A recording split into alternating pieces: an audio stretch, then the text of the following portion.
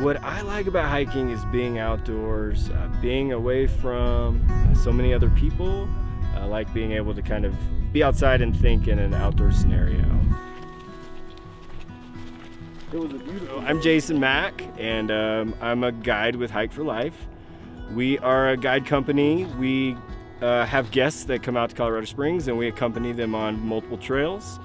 Uh, we talk to them about safety features and hiking techniques.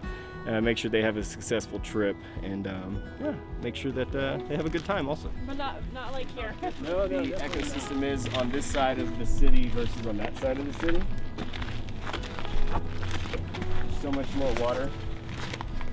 So, well, I love Colorado, and I think that being on, not only in Colorado, but being on trails is a is a way to calm your mind and your heart. And so, I like bringing people out here and showing them the experience that I get from hiking.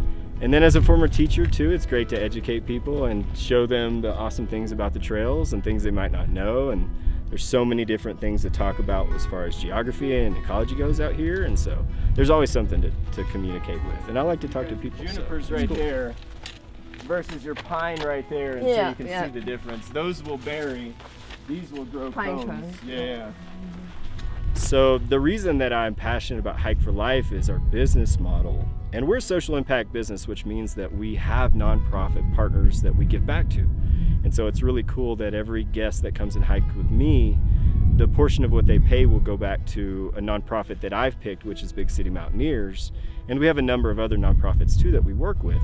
But every hike that we do at Hike for Life is, is helping those guys out too. And so that's really impactful and I think is a really powerful um, model for our business. Nice work. And then just walk your way down. Good job. That's good.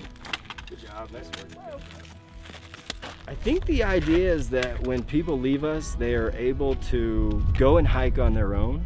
So they've learned something about hiking and about what it takes, the five fundamentals, what they should bring with them, um, how they should properly use the trail. Um, love to see our guests come back to us, but ultimately we want to kind of graduate them to where they're successful trail users without our help and then um, allow them to go and explore and hopefully create a love for hiking that, that they now have, that we have.